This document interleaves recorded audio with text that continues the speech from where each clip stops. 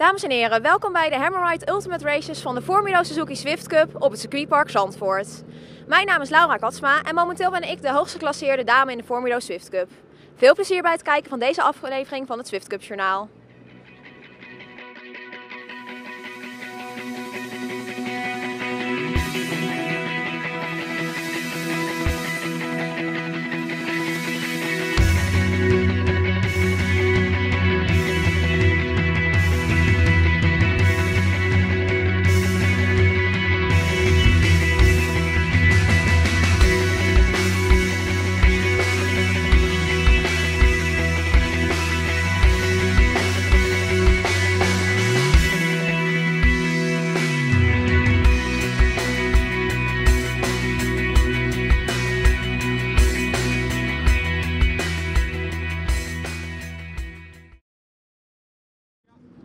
Elke beweging op het circuit wordt nauwlettend in de gaten gehouden door de wedstrijdleiding.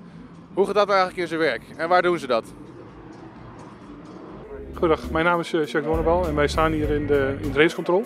Achter u ziet u het, uh, ja, het zenuwcentrum van, uh, van wat er allemaal op de baan zich afspeelt. U ziet een aantal beeldschermen achter me en op die beeldschermen kunnen wij als wedstrijdleiding zien wat er op de baan allemaal gebeurt. we kunnen die beelden ook terugkijken, zoveel we willen. En we kunnen naast de beelden kunnen we, krijgen we hier ook alle rapporten binnen en dan kunnen we de beelden koppelen aan de rapporten en kijken wat er, eh, wat er op de baan allemaal gebeurd is. Hier op de voorste rij die u ziet, eh, daar zitten de mensen van eh, de communicatie. zij zorgen ervoor dat de communicatie vanuit de racecontrole met zowel de baanposten, maar ook met de rescuevoertuigen, maar ook met de wedstrijdleiding die eventueel buiten is, goed kan verlopen. En op de achterste rij die, die daarvoor zit, daar zit de wedstrijdleiding. Normaal gesproken zitten hier uh, vier mensen zoals u ziet. Achter zitten er meestal een stuk of drie. Maar dat is erg afhankelijk van, uh, van het evenement. Sommige evenementen, daar, uh, nou, daar kunnen er wel, wel tien zitten. dat heeft te maken met de grootte van het evenement. Het kan ook een, een DTM zijn of wat volgende week hier is. Of een Marsus waar ook wat meer mensen zitten als normaal ja, zoals u ziet, uh, een belangrijke schakel in, in de autosport. Uh, wat u hierachter ziet is, ja, daarmee kunnen wij alles als wedstrijdleiding controleren en zien of alles goed gaat en volgens de regels gaat verlopen.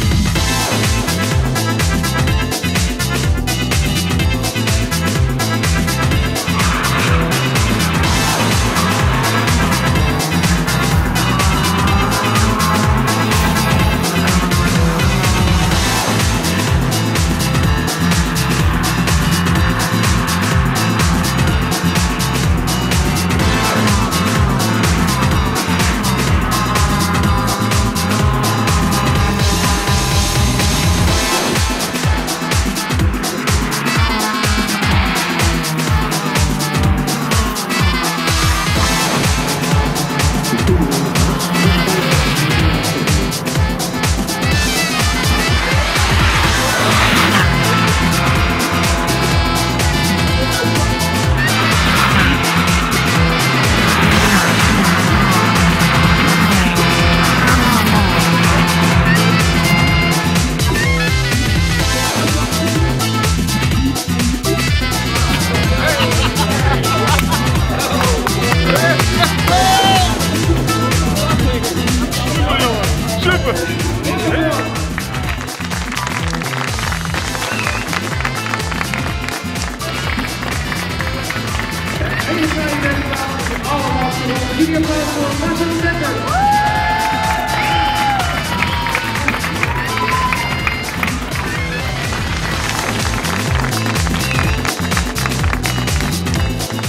Nou, eerste race gehad, had vandaag wederom winnaar, net als in Assen. Vooraan gestart ook natuurlijk, uh, goede start. Een klein foutje in Hugenot, ging ik even dwars. Uiteindelijk uh, kon ik de wedstrijd consolideren en gewoon uh, seconde recht, bijna een seconde wegrijden per rondje. De auto is helemaal super, de gas hebben tof voor elkaar. We gaan hard, de snelste ronde ook nog gepakt. Nou, de maximale punten uit de race. straks vanaf de achtste plek start. Ja, wat gaat dat weer brengen? Veel spektakel denk ik en uh, misschien nog een beetje regen, dus het gaat ontzettend spannend worden. En laten we hopen dat we er weer wat moois van kunnen maken in race 2. Jos Veldboer, uitkomen voor Douwe Autosport, is zowel op de baan als naast de baan actief bezig om aandacht te vragen voor zijn goede doel. Welk goede doel steunt hij en waarom heeft hij de autosport gekozen als platform? Ik heb autosport gekozen als platform omdat ik zelf een autosportfanaat ben. En het toch wel heel bijzonder vond om zelf ook een keertje mee te mogen en kunnen rijden met deze cup. Ik uh, ondersteun uh, de goede doelen, waaronder stichting NCFS. Deze stichting komt op voor de belangen van kinderen met taai-slijmziekte. Taai-slijmziekte is uh, de meest erfelijke ziekte die er is. En we proberen door mee te doen naamsbekendheid te genereren, waarbij we uiteindelijk middelen kunnen krijgen voor research voor de ziekte. Naast de stichting NCFS ondersteunen we ook de belangen voor de stichting De Opkikker en de stichting voor Malaria Nu. Op die manier proberen wij de sport en de goede doelen met elkaar te verenigen en meer naamsbekendheid te genereren. Bij aanvang van dit raceweekend heten de beide nummers 1 en nummer 2 Niels. Niels Kool aan de leiding van het algemene klassement en Niels Langeveld die hem op de voet. Hoe schatten de beide Nielsen hun kansen in op het kampioenschap? Ik sta momenteel vijfde in het kampioenschap. Ik ben uh, dit jaar slecht begonnen en na de Pinksteren stond ik zelfs achtste. En langzamerhand probeer ik wat op te kriebelen in het uh, klassement. Momenteel sta ik vijfde. Het gat wordt kleiner met de nummer drie. Dus ook mij ga je nog zien bij de eerste drie, hoop ik. Ik doe mijn best. We zitten nu over het helft van het seizoen. Ik sta nog met één punt voor. En Niels Langeveld komt dus wel ontzettend dicht bij mij. Uh, ik denk wel nog, vandaag met die ene race mag ik voor hem starten. Hoop ik dan nog gewoon voor hem te kunnen eindigen. Kan ik nog een paar puntjes voor hem pakken. En dan hebben we nog twee weekenden te gaan. Dat zijn dus nog vier races. En als ik dat een beetje goed doe, dan denk ik dat ik gewoon nog dit kampioenschap in mijn zak kan hebben. Dus het wordt echt een nek-aan-nek race. We kunnen elkaar haast niet zien, maar komt goed. Nou, daar denk ik natuurlijk weer heel anders over. Maar ja, dat is ook logisch. Als je op één puntje achter staat in het kampioenschap en je domineert en bent gewoon veruit de snelste dit weekend. Maar dat maakt niet uit. We hebben te maken met de reverse startcredit dit jaar. Daar moeten we mee leven en uh, daar moeten we ook mee leren racen. Dus uh, ja, we gaan, gaan laten zien wat ik in uh, race 2 kan om als achterste te starten. snelheid is er dit weekend. Autootje loopt goed. Bochtenwerk is goed. Remmen zijn goed. Alles is helemaal top. Dus nou, ik verwacht er gewoon van dat ik straks lekker ga aanvallen. En zo snel mogelijk Niels Kool voorbij om vervolgens dit weekend als leider het weekend uit te komen. Hoop ik natuurlijk. En dan nog vier races te gaan waar ja, waar de battle voort zal gaan. En we gaan allemaal zien hoe het loopt. Als ik geen technische pech meer heb, heb ik er alle vertrouwen in.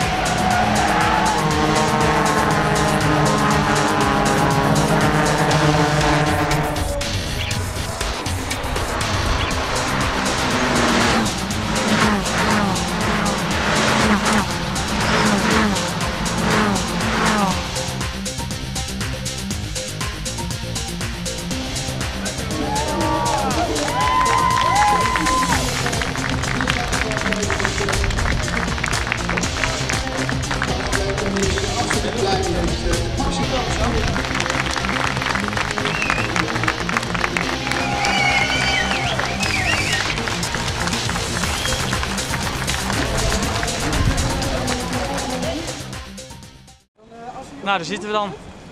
Ja, ik inderdaad. Twee keer gewonnen dit weekend. Fantastisch. Wat wil je nog meer? Naar je van achter starten en dan eh, zo'n super weekend nu. Het zit erop voor dit weekend. Geweldige races gehad, vooral race 2. Ik denk dat de menig mens echt uh, genoten heeft. Nou, weer een debutant op het podium, goed voor de opstapklasse.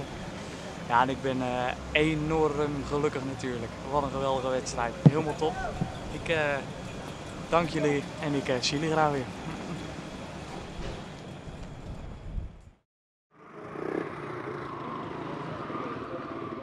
Vorig jaar debuteerde Joost van der Akker in de Formino Swift Cup. Een jaar later heeft de sympathieke Brabander twee punten gescoord. Maar als het goed is, gaat daar verandering in komen. Nou, ik ben Joost van Akker. Zoals je ziet rijd ik dit jaar met nummer 2. Dat is niet uh, de einduitslag van vorig jaar. Vorig jaar had ik uh, echt nog veel te druk om serieus te kunnen racen. Ik heb niet kunnen testen. Ik heb eigenlijk ja, door mijn werkzaamheden geen tijd gehad en continu achteraan gereden. Nu gaat het een stukje beter. Maar ik heb mijn café verkocht, dat café. En nu ben ik aan het testen met Michel Schaap. Dus ik hoop dat het een beetje vooruit gaat. Ik heb dit jaar twee punten gehad en aan het eind van het seizoen moet het er zeker meer zijn. Hallo vriendjes en vriendinnetjes. Zoals jullie gezien hebben dit seizoen heb ik twee nieuwe monteurs. De ene is Bassi en de andere is Adriaan. En als je Bassi ziet, komt Adriaan er vanzelf aan. Dit was het Swift Cup journaal van de Hammerride Ultimate Races op circuitpark Zandvoort. Voor mij was dit een super weekend. Ik heb hier mijn eerste podium gehaald. Volgende maand gaan we weer racen op het vertrouwde Zandvoort tijdens de Wijzenel Trophy. Hopelijk tot ziens op zondag 19 september.